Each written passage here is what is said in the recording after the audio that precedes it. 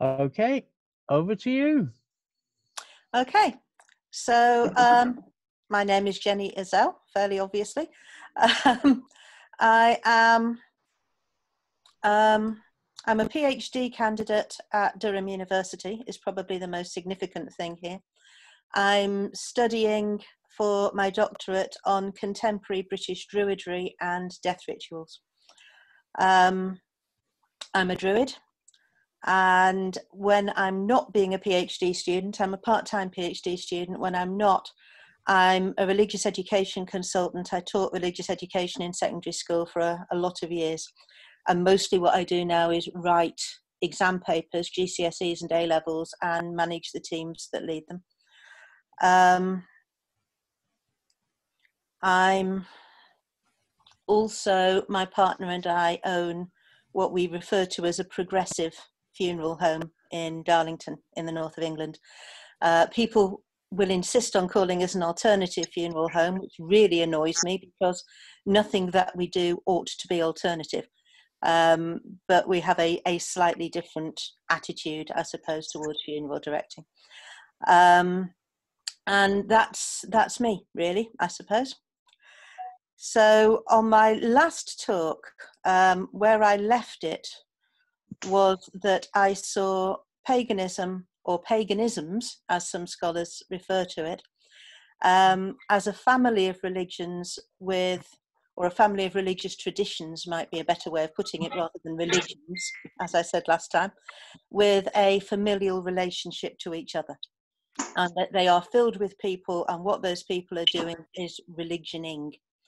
And I explained that I prefer this term religioning. It comes from a scholar called Malory Nye, um, because he says that religions with clearly defined dogmas and boundaries between them is not actually how human beings behave. It just isn't.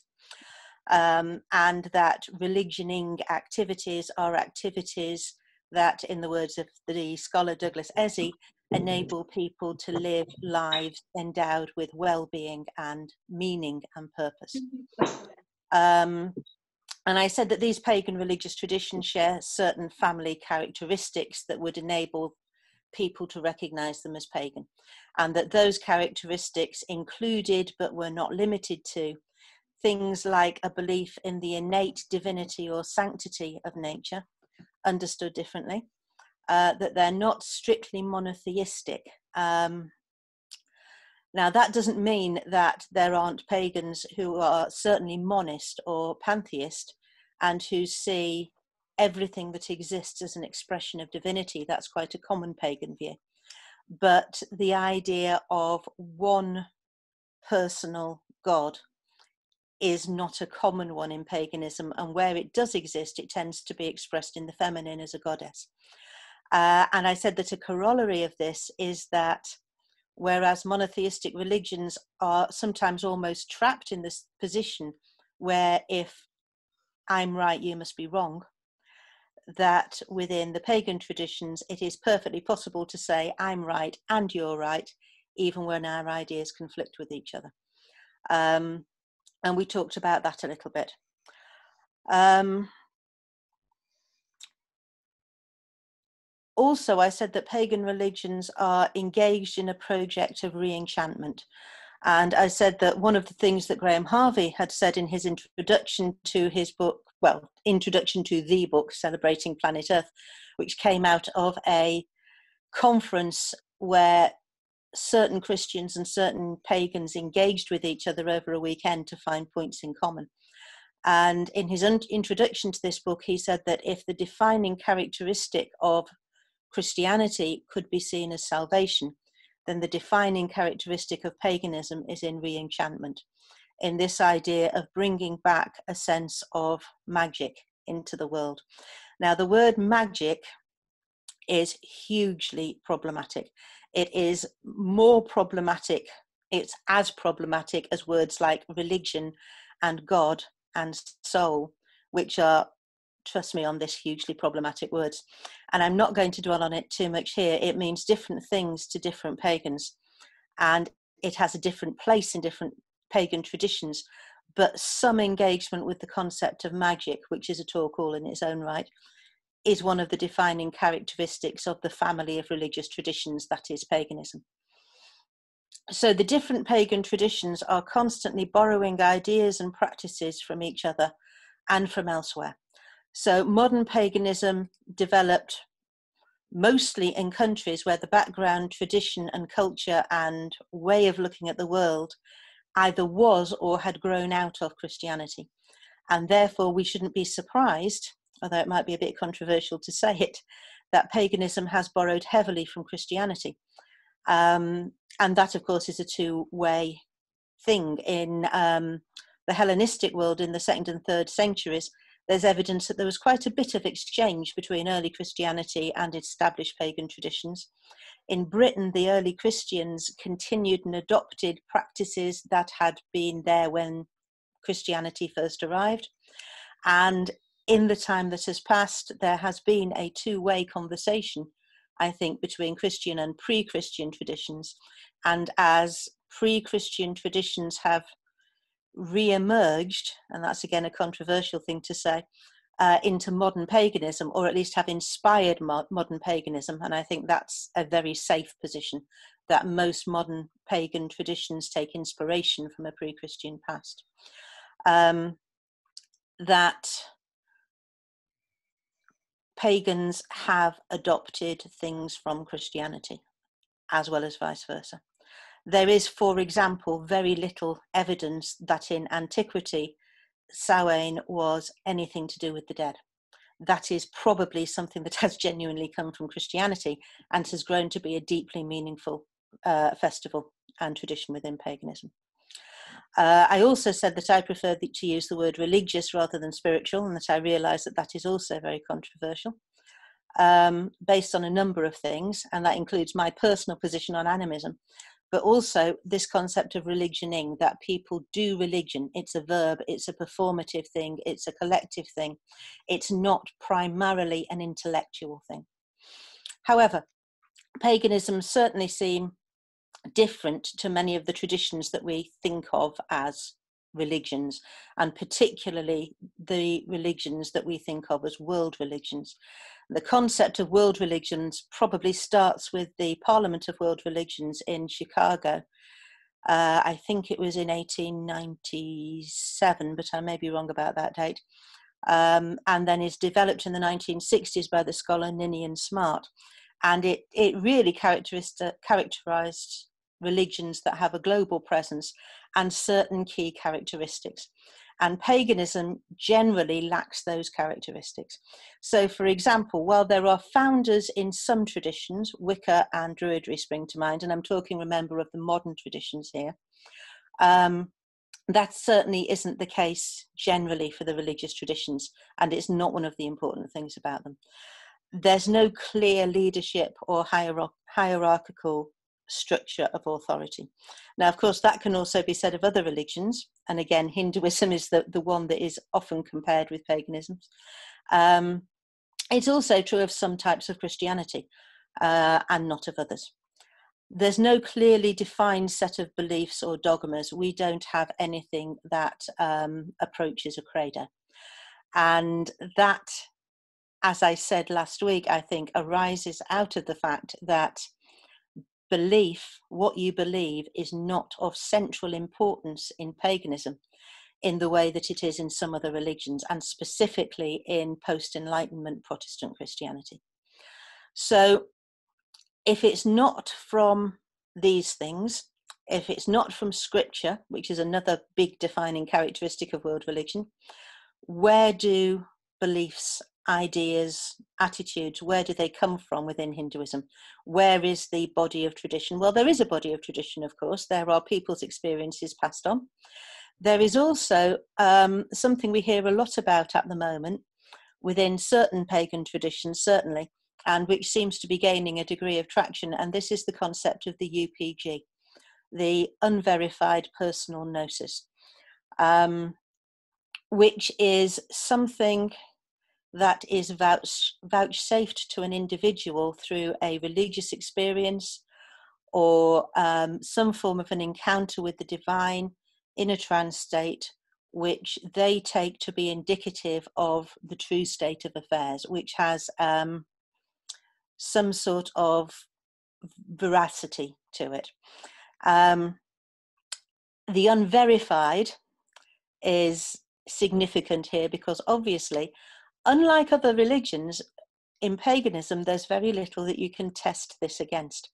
People have these experiences in most religions. I'm going to go out on a limb and say every religion because I think this sort of religious experience, whatever the true source of it, is part of what it means to be a human being. And I think William James's book on the varieties of religious experience pretty much establishes this fact. Whatever this is, it happens to a lot of people, enough that we can say it is a, a normal part of being a human being. Not all religions call it this. A lot of religions talk about revelations or visions. Um, one of the um, very well known examples within Christianity is the vision of Mother Julian of Norwich. And the difference is that within Christianity, and certainly with Mother Julian's experience, there is something to test it against. And in her case, this proved to some extent problematic um, because there was an established body, not only of tradition, there was an established source of authority in the Catholic Church, and there was also an established body of scripture against which it could be compared. Now, in paganism, we don't really have any of those things. And therefore, the role of um, unverified personal gnosis can be very difficult. You can have people saying, well, that doesn't agree with mine. And again, ultimately, I don't think it matters because belief is not the center of the matter. I do think it's interesting, though, to look just briefly at that last word, gnosis. It's usually translated into English as knowledge. But this is one of those occasions where English falls short to some extent because in English we only have the one word for knowledge. In most languages, there's a lot of words for knowledge. And what gnosis, which also appears in Hindu thinking as gyan, what that word means is a knowledge that is deeply embodied and felt. It's not something that can be learnt from a book. And um, I think that is also really important when we're talking about UPGs. This is a knowledge that almost becomes a part of who you are. And that certainly is something that is playing a role in the development of ideas about what is and isn't true within paganism. There is also this idea that, whilst I said last week, and it is absolutely true, that paganism is essentially relational, within that idea that the pagan is a a being, an organism that is in a mesh of relationships with other things and with a larger than human world, there is also very much the idea that the individual takes responsibility for themselves. They take responsibility for their beliefs, they take responsibility for their relationship with their gods or their concept of the divine or the world, and they take responsibility for their own personal morality. Um, now, one of the things that we can't compare UPGs to for verification is scripture. And one of the things that is almost characteristic of paganism is this lack of scripture. Now, we have books, we do have some books. Um, the obvious examples here is that in Wicca there is the Book of Shadows or Gerald Gardner's original Book of Shadows.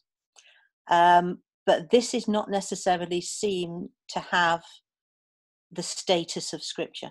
And the idea is very much de- developed within Wicca, as I understand it, that individuals develop their own book of shadows and their own relationship with what they're experiencing and what they're learning, which is ultimately of greater value than that original one.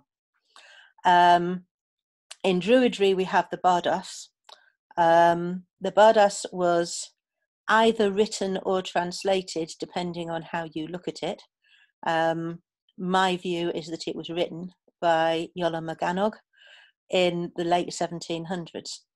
Um, it's a beautiful text, and a lot of the liturgy and the ritual and the original beliefs of Druidry, although these have largely changed or developed, come from the Barddas.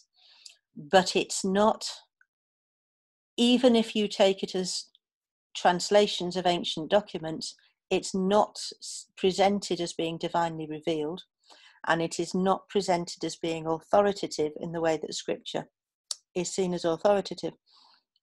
Probably the only thing that exists within paganism that is even comparable are the poetic and the prose Edda in heathenry, and uh, the Havamal as well to some extent. Um, now, these are seen by some heathens as something approaching scripture, and I have seen um, heathens discussing somebody's UPG and saying, well, that can't be right because that contradicts what it says in the Edda. Um, I'm deeply suspicious of that approach to the Eddas, largely because they were written by Christians. And this is what separates them very clearly from anything that would be recognized as scripture in a different religion. The prose and poetic Eddas are an attempt to preserve pre Christian Icelandic, specifically Icelandic religion and culture. And they're written down in the 13th century by monks. So already they have been through a gloss. Um, and they don't get us back to the original religion before Christianity had an impact on it. Which is not to say that they're not valuable, they're hugely valuable, but that's not what they are. And just as an aside here, I would say that I don't think such a thing exists as a pure religion that has not been changed or changed religions that it comes into contact with. It is the nature of religions that they borrow and take from each other. And what you have in the Eddas is um, pre Christian Icelandic religion as it was seen by the monks about 200 years after it was last practiced. Um, and how they have put their gloss onto things in the light of their own Christian teaching is at least as interesting as anything else that's in there. Another source of knowledge that I think is is quite uh, quite an interesting one to look at is ritual, and I am arguing here that ritual is in and of itself a source of knowledge. So um, we've tended to have here a again, and I come back to this post Enlightenment Protestant view of ritual, that it is something that, if you're not very careful, becomes meaningless through repetition, that it becomes dead because it replaces, if you're not very careful, an active and living relationship with the divine. And another idea that we have about ritual is that it always points to something else. So that all of the objects, all of the words, all of the actions that take place during a ritual symbolize or point towards something beyond themselves. Um, again, I'm going to take issue with that idea of ritual. And I think very often in paganism, what is happening in ritual is something very different. And two examples of that one is um, Graham Harvey um, in his the latest book that he has edited, which is Indigenizing, Movements in Europe, um, which is a fantastic book. I recommend it strongly. Um, he says that ritual can be seen as enactments of interpersonal and often interspecies relationality. So, in other words, you are acting out this sense of being connected, being connected with the other people that you are in ritual with, if it's a group ritual, being connected with entities that you are engaging in ritual with, be they gods, be they spirits of place, be they ancestors, or be they the animals that happen to be in the space where you are doing the ritual if you're outside. Um, another thing that is very interesting, um, a scholar in Leeds, Tasia Scrutton, is talking about in now this is from a book called Continuing Bonds in Bereavement. And she is looking in in this chapter, she is looking specifically at the ways people use ritual in bereavement. And she takes two examples. One is from an indigenous religion, and one is about Druidry in Britain. And she talks about a kind of knowledge that you only gain from being in ritual that is essentially different from anything that is learnt intellectually. There are things that you only know by doing them. Now, we all know that there is such a thing as muscle memory, that there are types of knowledge that have nothing to do with the intellect. But she here is talking about something like the gnosis of the um, UPG. She's talking about types of understanding, and I would suggest relating this to what Harvey has to say types of relationality and types of being in relationship that can only be experienced through ritual and that cannot be learnt in any other way. So I'm going to suggest that whereas in some religions there is a body of scripture, there is a body of belief that is widely acknowledged, even if not everybody following that religion would actually adheres to it, and um, some sort of structural authority. That in paganism, what we have, we have certain writings, and they are sources of inspiration, I think, rather than authority. But we also have these UPGs, which have a particular status within paganism. And we also have what is learnt through doing, what is learnt through being in community, and what is learnt through ritual. So, the other thing that you see in most of what we think of as the world religions is a set of ethics. Um, and often this is based on what in ethical theory, which is another one of my areas, is called divine command theory. So, in other words, whether something is right or wrong is based on whether a God says it is right or wrong. So, this is very much the basis of Islamic ethics. Um, in Christianity and Judaism, there are the Ten Commandments. So, there are, are clear rules that have been laid down. Um, it's not the only thing that, that feeds into Christian ideas of ethics by any means, but it is there. Now, this is pretty much, I think, completely absent in paganism.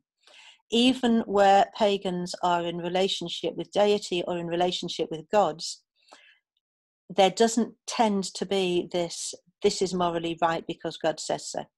And there is also the idea that when one is in a relationship with a god that that is transactional that is relational and that the responsibility for what you do or don't do is very much on you. Um, so you may choose to carry out something that a god has asked you to do or you may choose to turn that down and that is entirely reasonable. But at the end of the day the decision about what is right and wrong rests with you as an individual. Um, there are pagan traditions that have precepts, um, ideas of guidance. The the obvious one is the the Wiccan idea of "and it harms none, do as you will." But what that actually does, again, if you think of it, it's not a rule. What it does is it puts the responsibility back onto the individual. What are the consequences of this action? Now, this is something in ethical theory that is called consequentialism or um, teleological ethics. And the idea behind that is that you decide whether something is right or wrong based on its consequences. Now, the problem, of course, is that you can't always tell what the consequences of an action are. In paganism, I would say that the majority of pagans, certainly the majority of pagans that I've spoken to, broadly speaking, followed the theory that we would call virtue ethics. Uh, now, this is something we first encounter with Aristotle in ancient Greece, and it starts from the idea that the world is a complicated place and that black and white pretty much don't exist. You're always dealing in shades of grey. So that ethical decisions are likely to be a case of finding the best thing to do rather than the right thing to do because there might not be a clear right thing to do.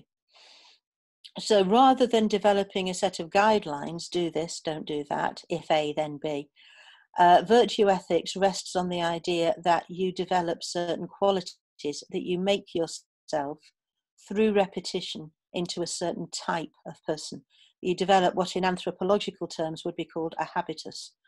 And that this character that you develop by consciously nurturing and developing characteristics such as compassion, honor, truthfulness, um, and that if you practice those skills, they will slowly become who you are. And if you become that character, then faced with a complicated ethical decision, you will make a decision based on who you are. Now, that might not be the only good decision that it's possible to take, but it is a good decision given the limitations of the situ- situation that you're in. Uh, and the idea of um, pagan ethics has been discussed by various pagan authors, including probably most famously Emma Restall Orr in her book Living with Honor, and um, Brendan Myers in his book The Earth, the Gods, and the Soul. And both of those books broadly espouse the idea of virtue ethics. So, in terms of how the outside world sees religion and what religion is, that um, would be my idea of how paganism fits into those characteristics, where it positions itself within that broad scope of, of thinking that is religion. So, if paganism is defined more or less by what people do rather than by who by what people believe, so what do pagans do? Um, probably the most well known obvious thing that you're going to to come across is ritual. Now ritual can be private. It can be something that somebody does on their own in their own house. It can be based with their family or it can be public. And if it is public it can be open to anybody who wants to come or it can be open only to members of a particular tradition a particular coven a particular grove um, now, this is where we see the familiar traditions again, the familiar relationships between pagan families. So, what does a pagan ritual look like? Well, it depends very much on what type of pagan ritual it is. But I would suggest that if you go to an open ritual in Britain, calling itself generic pagan, um, or at a site celebrating a festival. Uh, I'm thinking of Thornborough Henge here at Beltane or um, Avebury. Then it is likely to involve a circle and it is likely to involve calling the quarters in some way or another. Um, so that is an invitation to the north, the south, the east, and the west to um, create sacred space and to participate in the ritual. Now, how the quarters are addressed will change between traditions.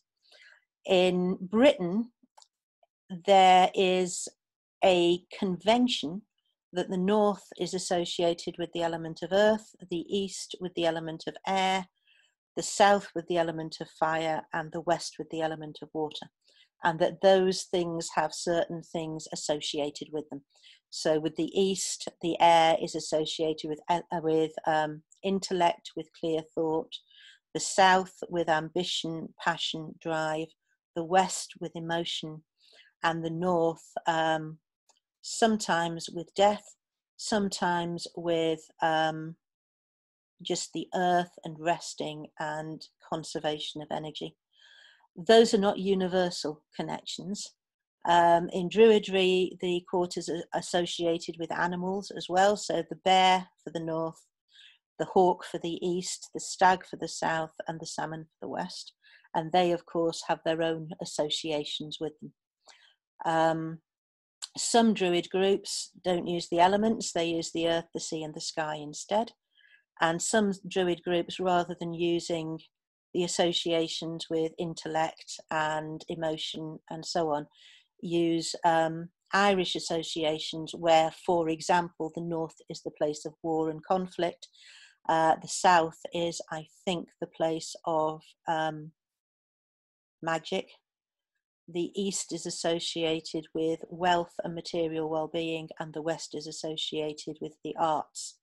I think I may be wrong on that, but there is the general idea of the um, calling the quarters. Uh, often a raising of energy in some way that might be done through chanting, it might be done through drumming, might be done through dancing, and that that energy is then directed towards a specific purpose which might be very often the healing of the land, particular piece of land, or um, towards peace or towards something else. But those are the things you are likely to see at public open pagan rituals that don't have a particular label associated with them. Um, there are, of course, other formats. Heathenry is again significantly different, and the main thing associated with heathen ritual is the sumbel or feast. And again, there is this idea of sharing and relationality and creating a bond between a human community and a divine community. What you do tend to find with pretty much all pagan ritual, um, wherever it is, is that it is highly performative and that it actively in, involves all the participants. So it is not one person standing at the front doing things, it is everybody that is there actively involved in doing things even if it's even if it is just standing in a circle. They they are actively doing something and most people in a ritual will usually have something to do. Um, many pagans have a personal practice. They will have a shrine or very often they'll spend time in some form of meditation is another very common practice within Hinduism. And again, this might involve music, it might involve drumming, it might involve chanting, might involve a rattle, it might involve just sitting and being still. Um, a lot of pagans, it just involves sitting somewhere outside and losing, I suppose, the boundaries of yourself as an individual and feeling yourself as being totally a relational part of everything that is going on around you. Um, you'll find a lot of pagans at various camps and festivals throughout the year. Not this year, obviously, which is unfortunate. But in an average year, there are many, many different camps and festivals throughout the year. And these places, um, Andy Letcher in his PhD thesis suggested that these places were heterotopic. That is, places that for a short period of time are turned into something out of the ordinary, something away from the normal world, where different relationships between pagans and with the divine and the natural world around them, those different relationships can be formed. Now, there are several scholarly works that talk about something called neo tribalism. So, obviously, a lot of anthropological work in the past 100, 150 years or so looked at tribalism. And usually it was looking at tribes in different countries. And the tribes in question had certain characteristics. They were geographically close to each other, they were united by a belief system, they were united under certain types of authority and certain activities. Now, British society clearly doesn't work like that. But certain anthropologists, uh, Zygmunt Bauman and Maffesoli in particular, um, suggested that in the postmodern world, tribes still operate, but they operate in a different way. And Maffesoli, for example, says that these new tribes are not characterized necessarily by geographical closeness. And people drop in and out of them. They don't endure in the way that some of the anthropologically based tribes did.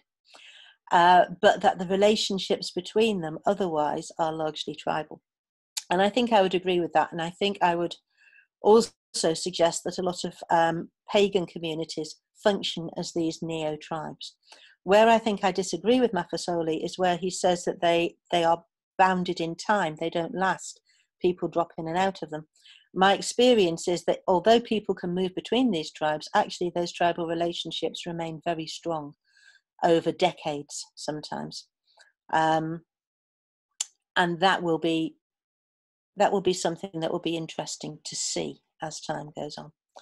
Um, certainly with um, Druidry as it exists at the moment, which I would say has existed in its present form for decades rather than anything else, it will be interesting to see how those tribal relationships continue into new decades. Um, so we have these these sort of heterotopic camp and festival spaces where the pagan tribes express themselves as tribes in a way that they often can't. Now, at the time when Maffesoli was writing, the um, the internet was just about beginning to exist, but it wasn't anything like it was it is now. And I would also suggest that this tribalism is something that is developed online in ways that I don't think have really been studied as yet, and certainly in regards to paganism. And it would be interesting to do that. So, what else do pagans do? The the other thing that is perhaps well known is um, the wheel of the year, and again, this does not apply to all pagans. It tends to apply to um, pagans that have some association with a Celtic worldview, be that Wicca, witchcraft, um, shamanistic practices, druidry, uh, heathens tend not to follow the, the, wheel of the year, except in certain places where there's a, a correlation, such as Yule. Um, and obviously, if you're following a Kemetic or a Sumerian path or a Hellenistic path, there are f- festival structures already existing there.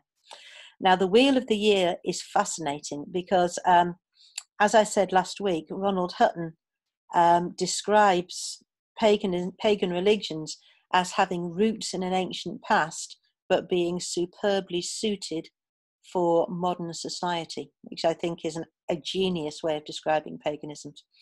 And this is a perfect example of this. The Wheel of the Year is a modern thing. It has its roots in the past, insofar as every individual part of it was celebrated by some group of people at some point in the past. Um, it's a modern thing in that it seems to have been put together as a proposed structure for the celebration of festivals by Gerald Gardner and Ross Nichols um, sometime in the 1950s, 1960s. And um, it suits modern needs very well. Uh, it gives you a festival every six weeks or so, which is very nice. And it gives you a way of fitting in a ritual year not only with the natural world so that you remain in, in tune with the turnings of the seasons in the natural world, but also with the, the wider world. So it gives you a celebration around Christmas, which culturally is a useful thing to have. Um, it does not appear that there was any time in the ancient past where there existed a group of people or a place that celebrated all of these festivals. So, to that extent, it's modern. However, as I said, each of the individual parts of it have a past. Um, and very often that past is this wonderful, rich syncretism I was talking about earlier between Christianity and pre Christian traditions. And I do see that as a really rich thing that is to be celebrated rather than a case of who's stealing from who. Um, so, for example, the solstices and possibly the equinoxes seem to have been important to the Neolithic people. So we have ancient monuments, West Kennet, Stonehenge, Avebury, and so on, that are aligned to solstices and occasionally to equinoxes. So this is what was important to them, it seems. Um, when we get towards the Iron Age and the Celts, these people seem to be celebrating the fire festivals, as we call them. And these festivals seem to be deeply connected to what is going on in agriculture. They're connected to farming, or they're connected to the, the husbandry of animals. So um, when we put together the Wheel of the Year, we're looking to some extent at what two different sets of ancestors were doing, which is fine. Um, and it gives us a connection back to both of those sets. Um, of course, it's not universally accepted. And another problem with the Wheel of the Year is that in its modern form, it doesn't always match what the seasons are doing. So, um, Beltane in the northeast of England, for example, very rarely coincides with the May blossom coming out, which for quite a lot of pagans is the event that marks Beltane for them.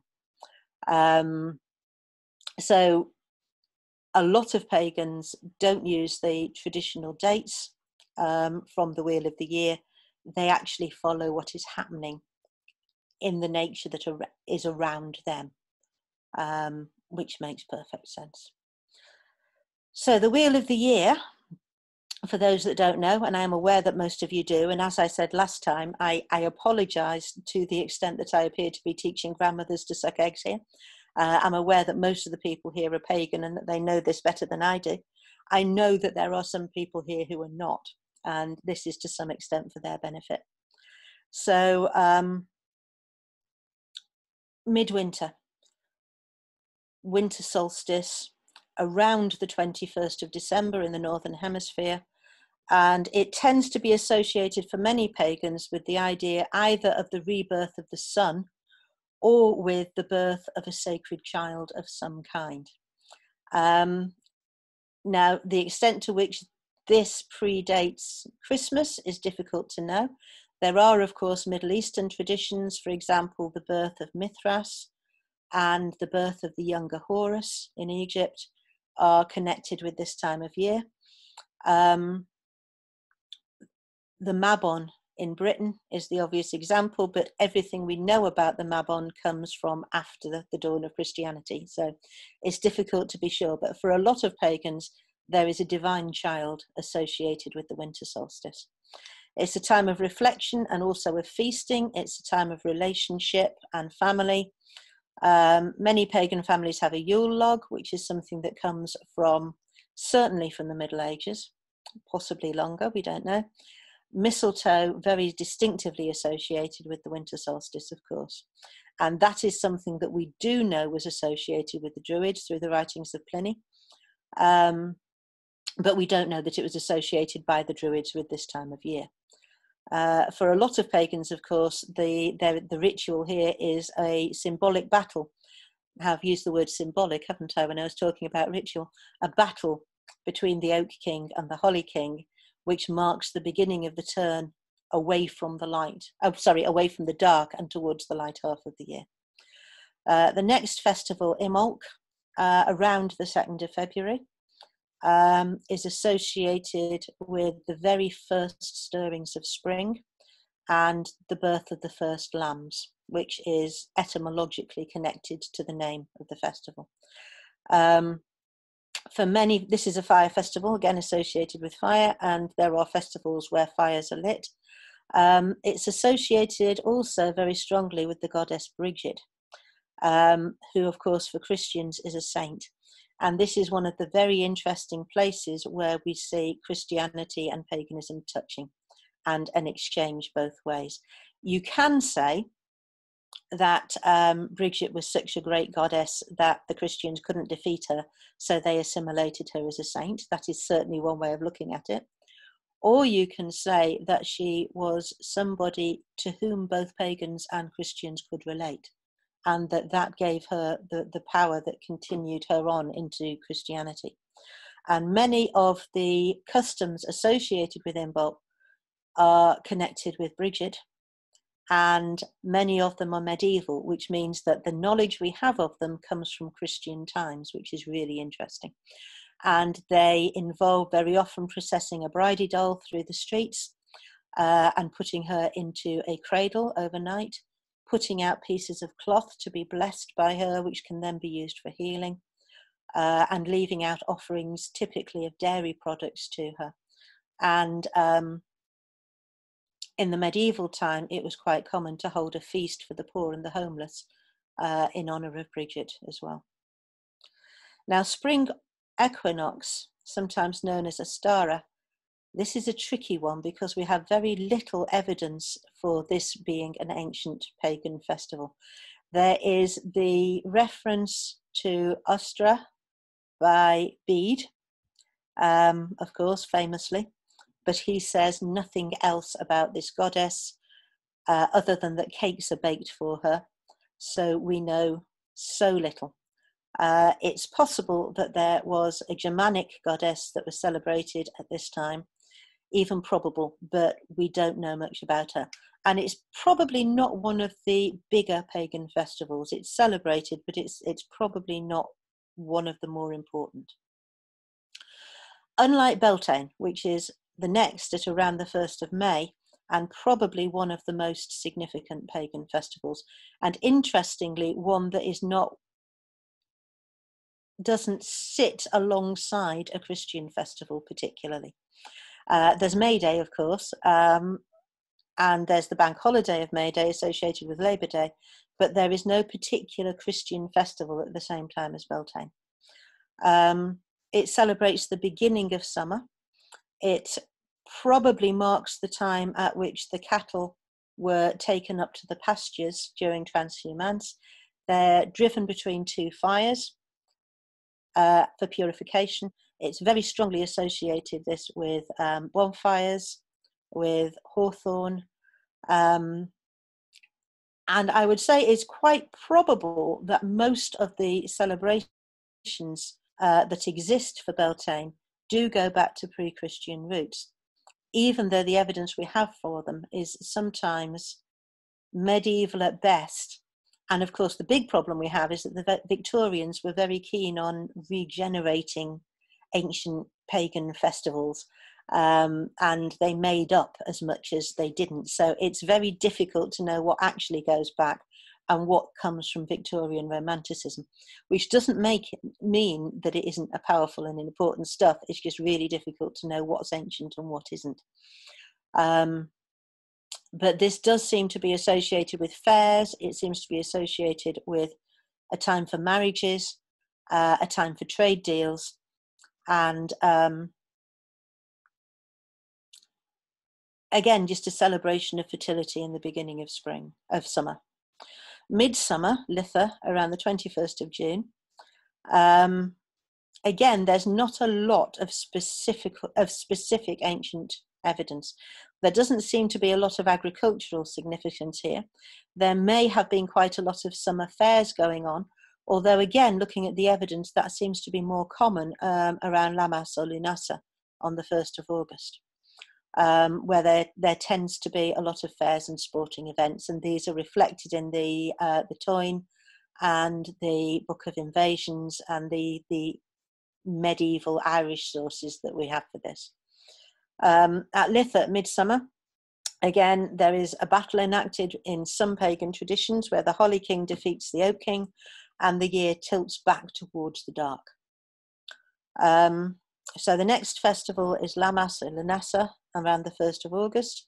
Seems to have been a time for fairs, sporting events, and again, it's a time when business deals are made, where people are hired, uh, marriages, all of this sort of thing. It's the first harvest, the harvest of the um, usually of the crops, the wheat, the oats, the barley, and therefore associated with corn dollies, which are again associated with paganism, but we don't know. It would be a logical thing to assume goes back pre Christian, but we can't say that with any certainty. Then um, next is the autumn equinox, which some pagans call Mabon, around the 21st of September. Again, there's very little ancient evidence for this, except it seems to signify the start of autumn and the um, again, it's a time of harvest. Um, as at the spring equinox, pagans might well be thinking about balance in the world, in themselves, in their own lives. This tends to be a focus. And then Samhain, the second great fire festival around the 1st of November. Samhain means summer's end. Uh, it signifies the beginning of winter in the Celtic calendar. Again, it's very common to light a fire. Um, now, for many pagans, Samhain is the time to remember and honour the ancestors, both ancient and more recent.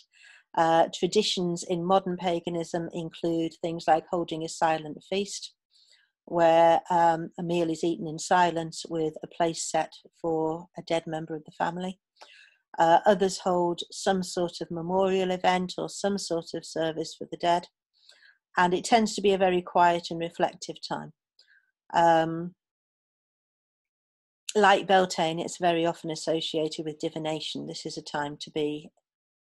It's a time when, for a lot of pagans, the veil between this world and however you conceive of the other world is very thin. And so, this is a time for connecting with ancestors, and it's a time for divination. Um, for some pagans, it's the time of the new year.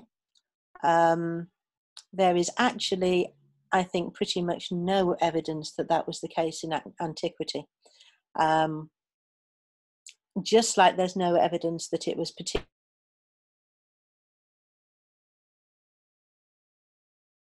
was that is actually more likely to have been Beltane than Samhain.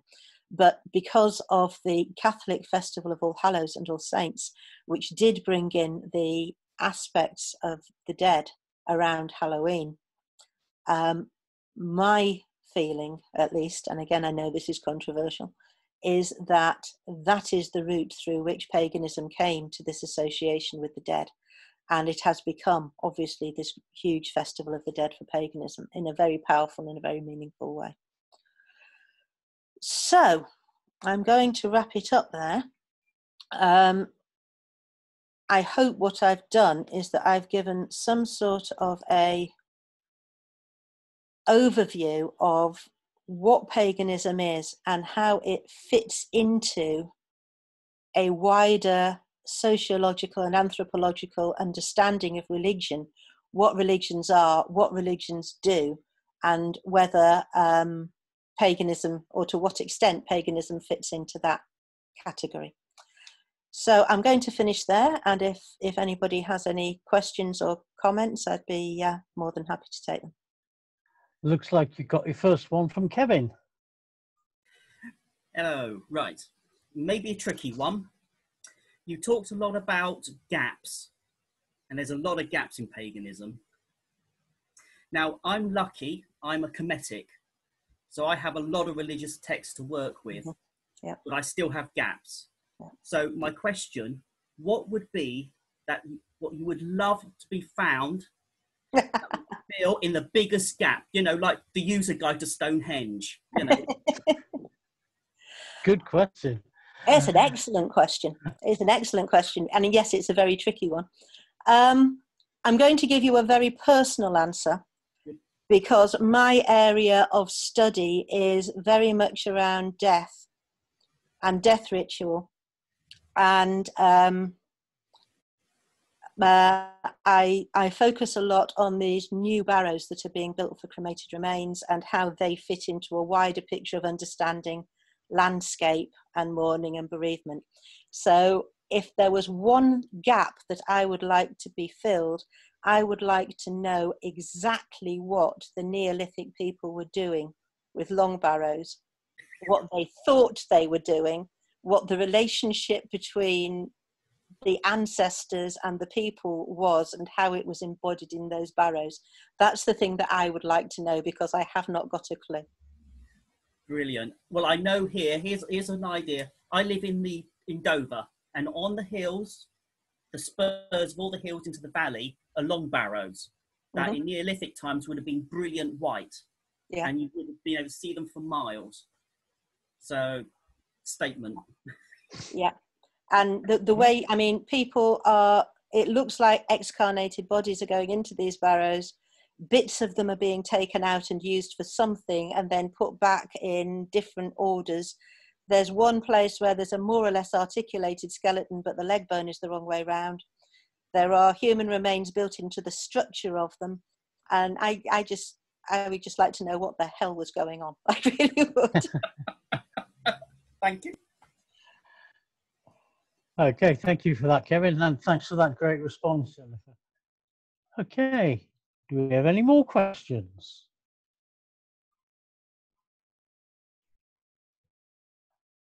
Just wave your hand if, if you've got one. Well, okay, looks like everybody's been thoroughly satisfied. Thank you very much. Who was that, Chaz? This is Ian Lodwick here. Oh, hi, Um, Ian. Hello, Ian. Um, Where are you? I think he's hiding behind Lisa. ah, right. Yep. so you touched on the um, on the subject of morality earlier on.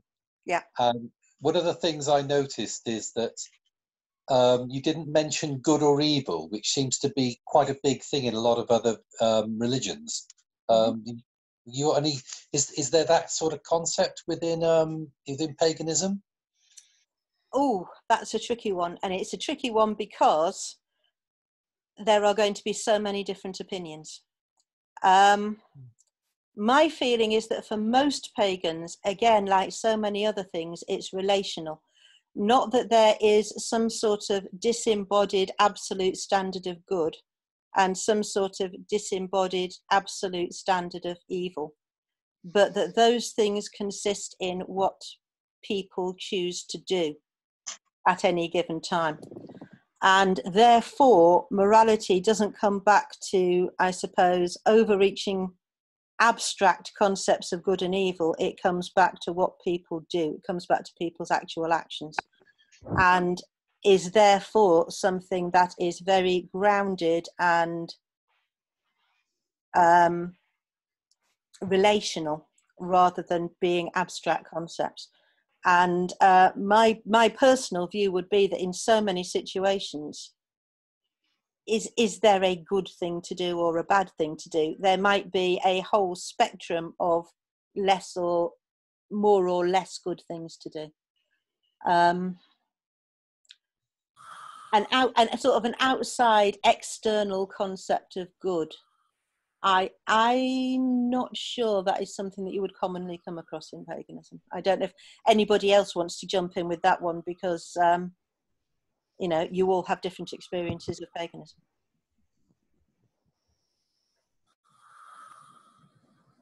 Very long story. Kemeticism has quite strong views on good and evil, and they're a bit mixed up, um, and not quite similar to most of other paganism either. Sure. So yeah, that's a, that. We'll, we'll we'll won't come to that. We can talk about that another time. I'm just going to say you've you're posing this little teasing comment there and then disappearing. You can always find me if you want to talk, know about the Kemetic side of that. I'm easy to find. we might well take you up on that. Yeah. Okay. Does anybody else have any comments, questions?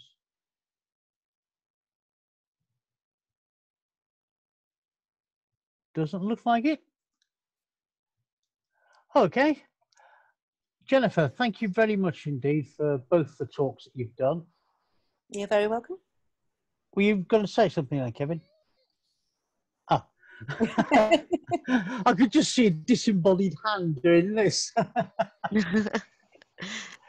yes, thank you very much indeed for both of the talks. They have been excellent. Um, it's certainly given me some food for thought, and I suspect probably a few other people as well. So, on Um, behalf of the CFPS, Always and- happy to answer questions or, or chat about anything with people if they want to get in touch afterwards. That's fine. Lovely. And last but not least, thank you all for coming along and taking part this evening. Um, it wouldn't have been the same without you. And uh, hopefully, you, I shall see you again for the next one, which I believe is in July now. Yeah, 5th of July, I think it is. And that's Timothy Landry talking about voodoo, secrecy, and the search for divine power, which should be quite fascinating, I think. It's not an area that I've had much exposure to, so I'm going to be looking forward to hearing that one. Okay, thank you all very much indeed. Thank you. I shall bid Thank you you. Thank you, good night. everyone. Bye. Bye-bye. Thank you. Bye. All right.